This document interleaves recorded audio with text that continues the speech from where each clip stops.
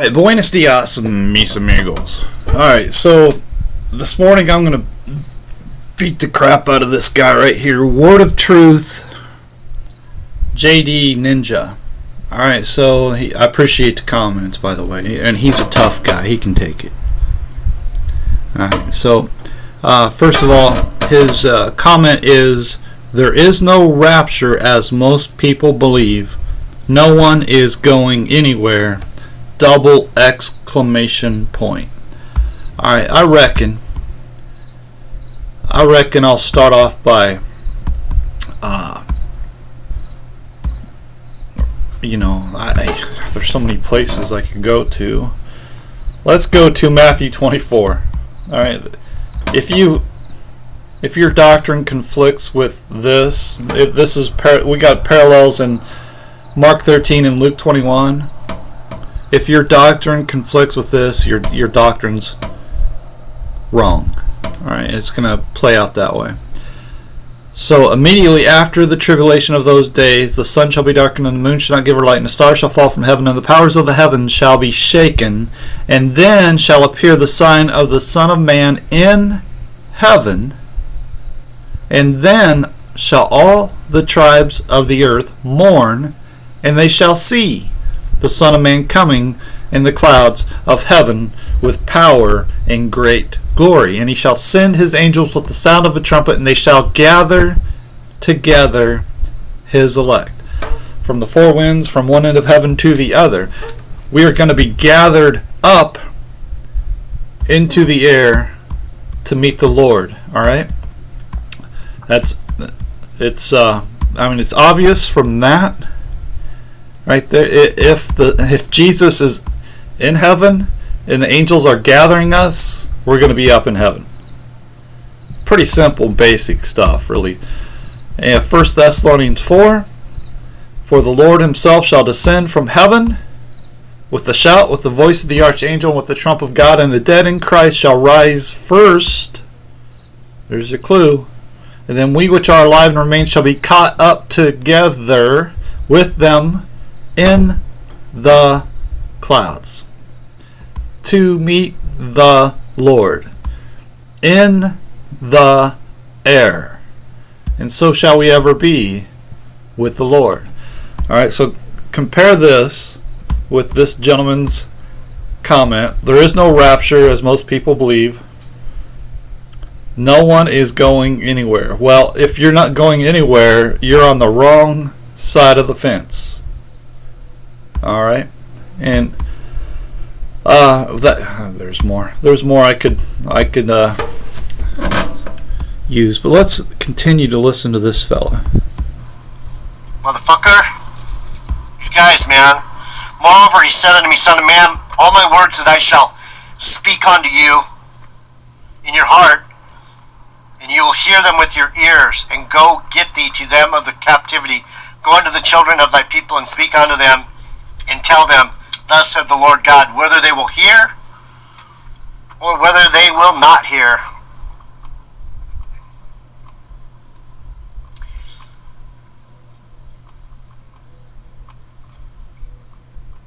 I keep saying the same thing to Black Hebrew Israelites, Tony Williams, some of these other characters out here, Dave Cole, and these rapture retards. So let's go to Thessalonians now. I'm, where, what the point I'm trying to make is um, the reason everything around my channel and my teaching is so um, different is because I'm not like these guys. I'm not trying to convince you I'm some pastor or some Bible scholar. I've been given this Holy Spirit. I've been given something different. I'm a I've, I've talked directly to God. I don't. I'm not some guy that.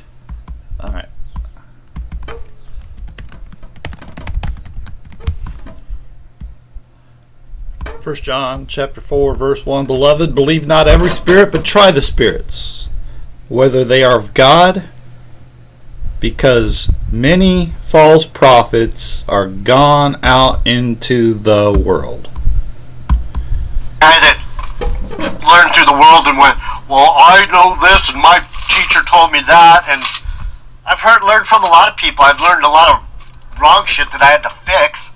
Learned from a lot of people. Well, try this. Try learning from God. And the way to learn from God is to believe the Bible that you hold in your hands is from God. All right? Because if you got a King James Bible, it is from God. It's not from man. It's from directly from God above. And I learned the ma- basic theme of um, church, church, churchy theology. You know, No, I don't know. love your brother, love your Lord, hang out with your people, and, and be nice. Be a good kid. Don't steal. All right, okay. All right. Okay. So there's a little more to it than just that.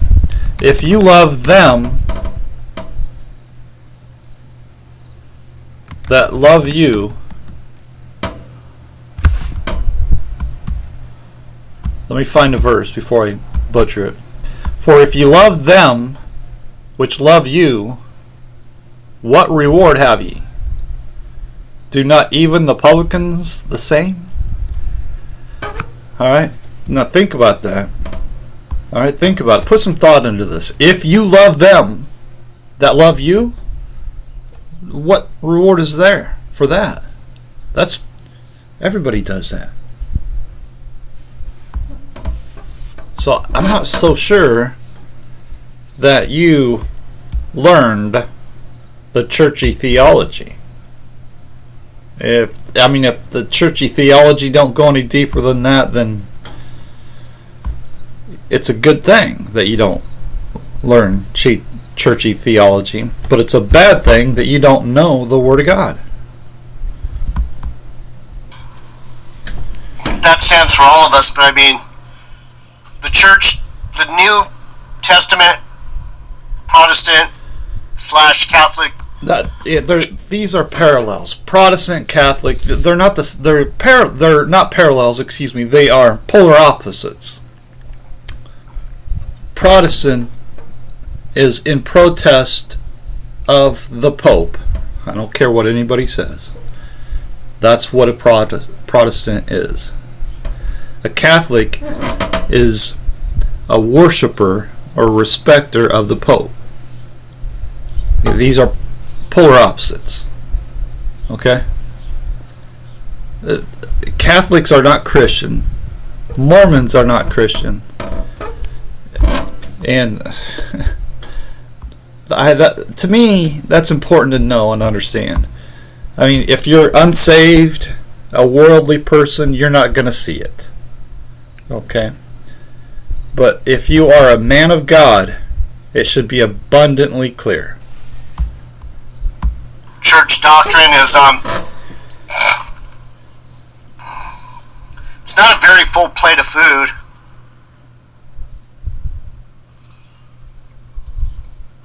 You get you nibble, but you don't get you don't get you, you don't get it all. All right, so the food is the is Christ, the Word of God. In Matthew 5, when it says, Give us this day our daily bread, that food is the Word of God. Alright, where, where is this at? Am I wrong about this again? Give us this day our daily bread. I'm scrolling too fast. I can't even see what I'm reading here. Oh no, that I am wrong. Aha! Matthew six. Come on. Come on. Give us this day our daily. That food is the Word of God, and that's encouragement to read the Word of God every day. Okay. Don't get a four course meal. Um, Second Thessalonians two eleven.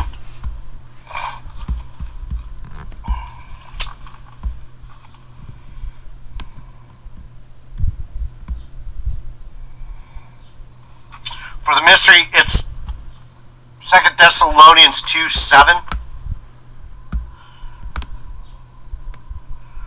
For the mystery of iniquity does already work. Only he who now letteth will let until it be taken out of the way.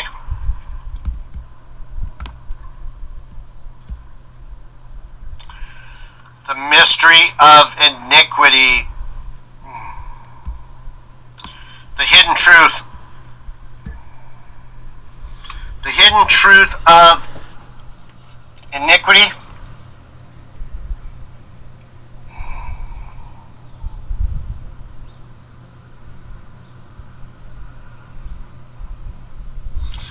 Hidden truth of lawlessness.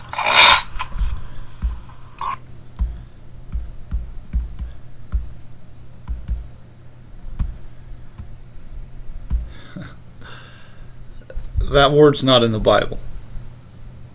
And I'd like, you know, I'd like to get into that. It's a red flag. And I'm just pointing that out. You hear somebody say lawlessness, but it's not. It's not in Second Thessalonians two. It's not anywhere at all in the Bible.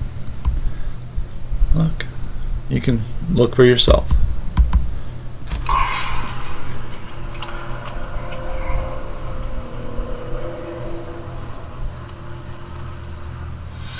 What's the hidden truth of lawlessness?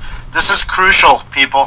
What? All right. So if it's so crucial, why isn't that word in the Bible? I mean, that's astonishing, really. What's what's what's lawlessness? I, I say it all the time. What's lawlessness? What's what's your biggest what's your biggest law that you're going to break? The mystery, the hidden truth about breaking the law, breaking the law, breaking the law. What band was that? Judas Priest. Judas Priest breaking the law. The law is the law of love, so when he's talking about breaking the law, the hidden truth about breaking the law, what what's hidden about the law?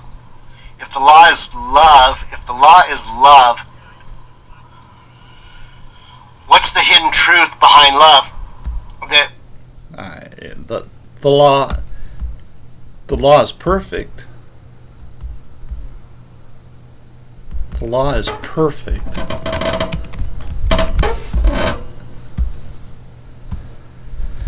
The law of love. Let me see if I can find something to support that.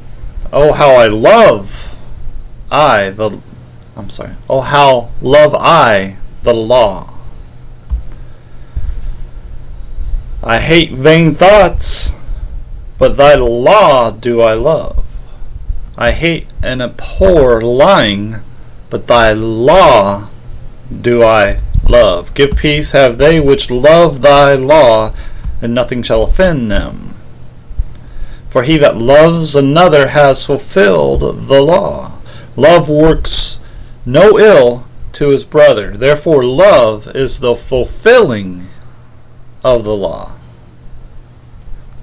For all the law is fulfilled in one word, even this Thou shalt love thy neighbor as thyself. If ye fulfill the royal law according to the Scripture, thou shalt love thy neighbor as thyself. Ye do well. Alright, notice there was no mention of the, the law being love. What's he say? The law is love? Law is love? That's not. That's not accurate. That's not accurate. That's not accurate. Let's let's test this out. Let's test this out because this is kind of important. All right, let's go. Let's go. Uh, let's see here. Let's go. No, no, no, no, no, no, no, no, no, no, no, no, no, no. People who know not the law are cursed, for as many as are of the works of the law are under the curse. For it is written, Cursed is every one that continues not in all things which are written in the book of the law to do them. Christ has redeemed us from the curse of the law, being made a curse for us. For it is written, Cursed is everyone that hangs on a tree. So the law is a curse. Right? The law is a curse. And love is the fulfillment of the law. If you think of the law as uh, a set of rules, right?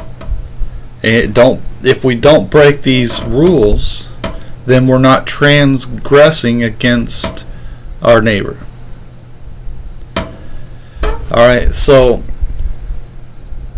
the law itself won't save anybody. You think about thou shalt not kill. Well,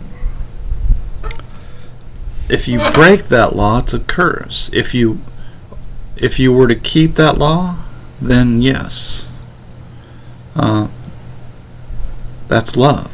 Because if you never violate any of the law, then that's love. That's the fulfillment of love.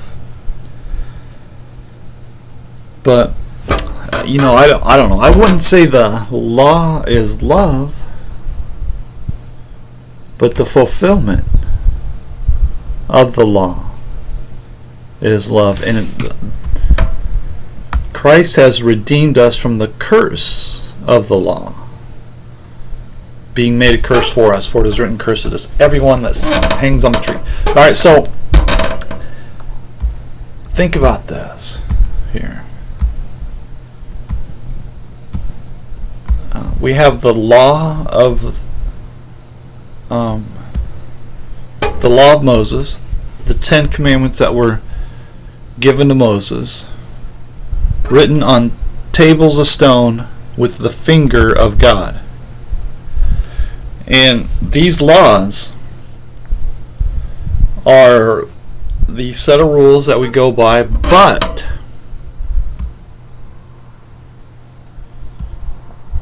let me let me give you one example here. Let me give you one example. Ye have heard that it was said of them of old time, Thou shalt not kill. Right? So if we go back to Exodus 20, verse 13, we read exactly what this is referring to. Thou shalt not kill. Right? Ye have heard that it was said of them of old time, Thou shalt not kill. And whosoever shall kill shall be in danger of the judgment. But I say unto you, that whosoever is angry with his brother without a cause shall be in danger of the judgment. And whosoever shall say to his brother, Raca, shall be in danger of the council. But whosoever shall say, Thou fool, shall be in danger of hell fire. So, Jesus takes the law and he expands upon it. All right, he doesn't lessen the law. He read he better defines the law. All right, so the problem isn't going out and killing people. The problem stems from the heart. Right? That's the problem. The problem is not the action. The problem is the heart. There's only one way to fix the heart, and that's by the Spirit of God to be born of God. Okay, so it to me it's just all interesting. I'm kind of straying a little bit here. But, you know, blah, blah, blah, blah, blah, blah, blah, blah, blah, blah, curse word, curse word, blah, blah, blah, blah. All right? That's fantastic, man. Good job. That away, DJ, or JD, or whatever your name is. Alright, so just a bunch of rambling. I don't see anything here. Blah, blah, blah, blah, blah. I don't see nothing here. No rapture. No rapture. Let's see. I missed it, apparently. All the cursing and the blah, blah. Knuckleheads. The doughheads. All that sort of ridiculousness. Alright, so, yeah, good job. Yeah, so, here's the issue. Alright, talking about Brad Pitt, man, that's fantastic. Good job. There you go. You, got some words in there. Goofies. Uh, I like that word, goofies, knuckleheads. Alright, good job. Alright, so fantastic. Alright, subscribe if you want to talk about the Bible. I want to talk about the Bible, but I ain't subscribing. Because obviously, you have no idea what the Bible says. None whatsoever. I already pointed it out. It's not like I'm playing ha ha gotcha. I, I pointed it out from the very beginning. Let's use Revelation chapter 1, for example. Behold, he comes with clouds, and every eye shall see him, even they which pierced him. On all kindreds of the earth shall well, because of him. Even so. Amen. Jesus is coming in the clouds of heaven. Can't get around it, partner. Cannot get around it. He's coming in the clouds of heaven. Alright. So, I mean, you call me a liar, but all you're doing is calling God a liar. Alright? And that's fine. That's what you believe. We'll see how that works out for you. John chapter 14. Let not your heart be troubled. You believe God? Believe also in me. In my Father's house are many mansions. If it were not so, I would have told you. I go to prepare a place for you. And if I go and prepare a place for you, I will come again and receive you unto myself, that where I am, there ye may be also.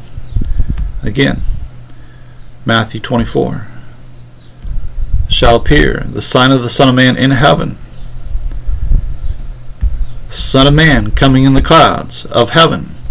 The angels gathering together the elect. Jesus comes in the clouds of heaven. Behold, he comes with clouds. John 14, where I am, there ye may be also in the clouds. We will be gathered up into the clouds to meet the Lord in the air, and so shall we ever be with the Lord. Alright, is that not enough for you? He said, Well, there's no rapture. We which are alive and remain shall be caught up together with them in the clouds to meet the Lord in the air. Is that not true? Is the Bible lying? Let's see. Jesus comes down from heaven and we are lifted up into the air, raptured, into the clouds to meet the Lord in the air. It, well, what's what's so hard to understand? That's not going to happen. You don't believe that? Oh, what's your major malfunction here? You just don't have the brain capacity? Are you a knucklehead? A goofy knucklehead? You just don't understand that when Jesus comes in the clouds of heaven, we are lifted up to meet the Lord in the air? You just can't figure that out? Maybe if you just took a deep breath and relaxed.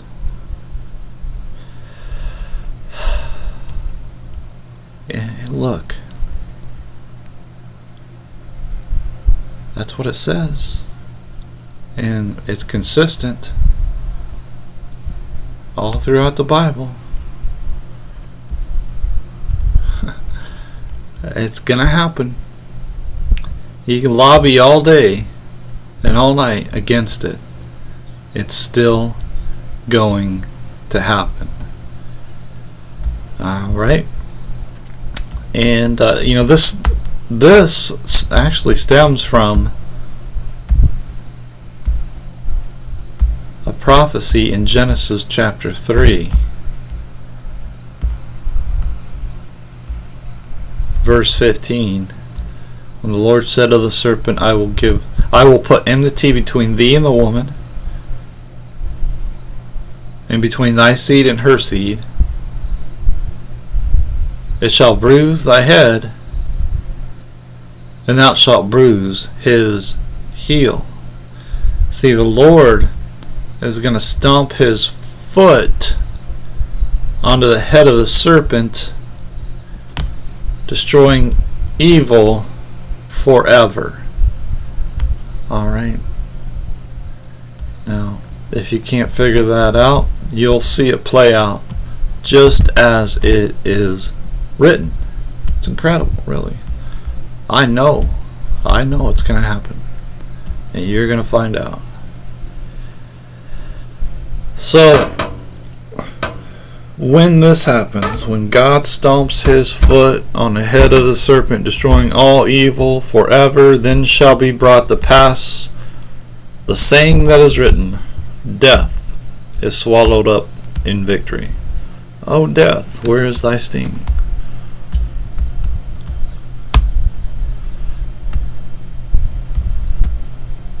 O grave, where is thy victory? Right? So, when this happens, right, when this happens, then shall God wipe away all tears from our eyes. There shall be no more death. Death is swallowed up in victory. No, neither sorrow, nor crying, neither shall there be any more pain for the former things are passed away. So when does this happen? This happens when the Lord comes in the clouds of heaven. We are lifted up into the air, and the Lord stomps his foot on the head of the serpent, destroying evil forever. Or as we read in Revelation 20, and fire comes down from God out of heaven and devours them. Same thing. It's the same thing. It's not a different moment in time. It's the same moment of time at the end of the world when the Lord stomps his foot on the head of the serpent, destroying evil forever. And fire came down from God out of heaven and devoured them. Right? And again, let's go to 2 Peter chapter 3. I mean, this is hard core stuff that you cannot refute. 2 Peter chapter 3 reminds us that the world was destroyed by water, right? Destroyed by water, whereby the world that then was, being overflowed with water, perished.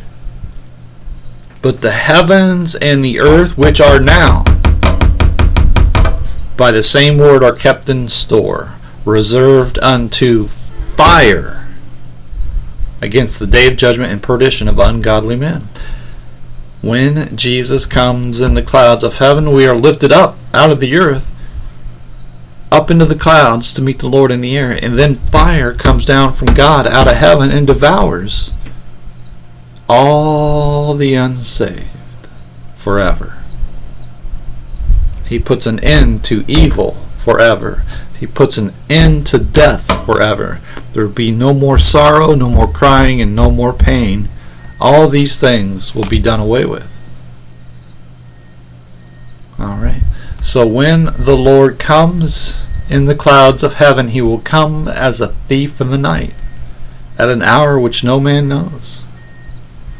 In the which the heavens shall pass away with a great noise, and the elements shall melt with fervent heat, and the earth also, and the works that are therein shall be burned up. The works would include just about everything that we are going through now. The whole way of life is going to change for the better. All right, so this is this is crucially important. This is crucial. There will be no more sex. All right, it's going to be much better than sex. Much better. It's my opinion, it's been my opinion for a long time now that sex is overrated. Way overrated. It's a, it's a moment of pleasure.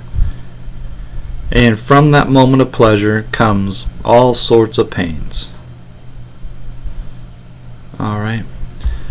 So, think about this here. Alright, first of all, in Genesis. Alright. I'm trying to hold on to a thought because I'm going to share another thought with you. In Genesis chapter 3, because Adam and Eve ate from the tree of the knowledge of good and evil, they were cursed with childbearing. Alright. They were cursed with childbearing. And unto the woman he said, I will greatly multiply thy sorrow in thy conception. In sorrow thou shalt bring forth children, and thy desire shall be to thy husband, and he shall rule over thee. Alright, so let's go. Okay, let's go to uh, the New Testament. Uh, you know, in like uh, in Exodus 20, for example, I think this is important. Let's do it this way. I want to put these side by side. Exodus 20, the Ten Commandments, love, or I'm sorry, honor thy father and thy mother. Honor thy father and thy mother. Keep that in mind. Keep that in mind. Alright? Keep that in mind. In Luke chapter 14, if any man come to me and hate not his father and mother and wife and children and brethren and sisters, yeah, and his own life also, he cannot be my disciple. Well, what's that mean? here in Exodus 20, it says, Honor thy father and thy mother. And here comes the Lord Jesus Christ, and he says, If any man come to me and hate not his father and mother, wife and children, brother and sisters, yet even his own life, he cannot be my disciple. How do you sort of, uh, you know, reconcile the two verses? Well, it's pretty simple. If you understand the Word of God and you believe the Word of God. Okay? It's pretty simple. So, when the Lord comes, then everything in this world is going to be destroyed. This world is coming to an end. This world is coming to an end. So, how was this world made? This world was made because of what happened in the Garden of Eden.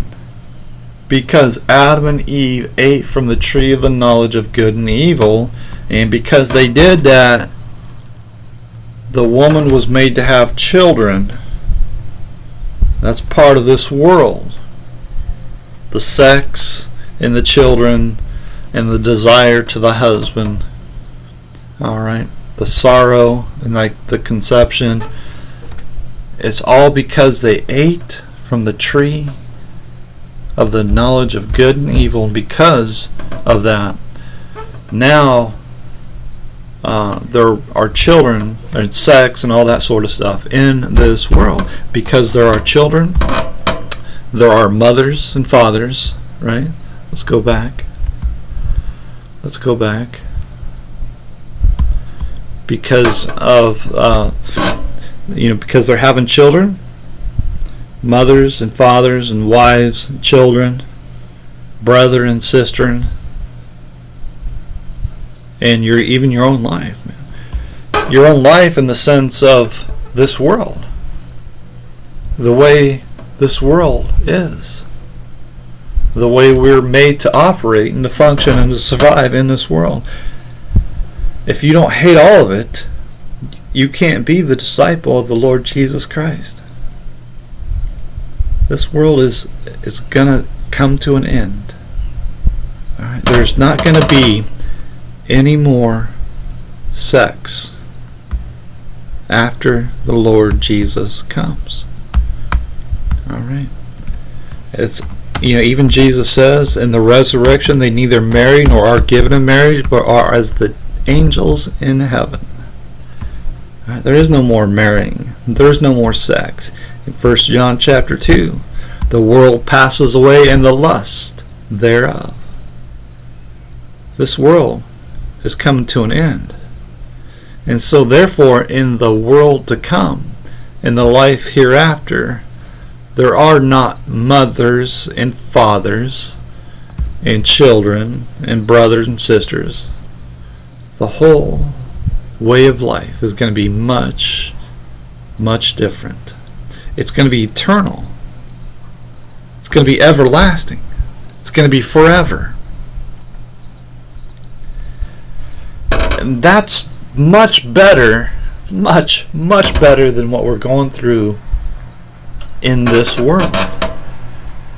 This world is full of wickedness in every single corner. Every single corner. So, again, uh, I and just it's just my opinion, of course, but when I take a look around and I see deceiver after deceiver, liar after liar, people just ignorant, just ignorant, don't know nothing. You know, they get it all wrong. It's it's incredible too because the scripture is so simple, so easy to understand if you believe it. And I, I, contend that's the problem with the world today. People don't believe the Bible that they hold in their hands. They believe Reverend Schmitty. To this guy's point, they're believing what other people say. The problem with this gentleman here is he's doing the same thing that he's accusing others of doing. He's believing what other men said. He heard somebody say, "Oh, there is no rapture here." Well, that's what I believe too. Well, did you read the Bible? Because the Bible is going to make you look like a fool. The Word of God is quick, powerful, and sharper than any two edged sword, piercing even to the dividing asunder of soul and spirit, and of the joints and marrow, and is a discerner of the thoughts and intents of the heart. It's just not words. This is not just words on a piece of paper. This is not an old Harry Potter book that we have to try to figure out what they mean back then when they wrote it. No, these are words that come directly from God above. Directly. Jesus even says, The words that I speak unto you, they are spirit and they are life. See, just because you don't understand it doesn't change it. Right, but you have no excuse not to understand it. All you have to do is believe the Bible that you hold in your hands. It it because it's, it's about faith. It's always been about faith. You should know that by now. Really, you should know that it's about faith. Without having faith, you won't have any understanding. Without having faith, you won't be saved. Why would God have grace, mercy on you if you don't believe? Huh? Doesn't make any sense. look at Hebrews chapter 11. Faith is the substance of things hoped for. What are you putting your hope into? The evidence of things not seen. Check this out. 27 times we got the word faith from all the way from the beginning to the end. It's always been about faith. Always.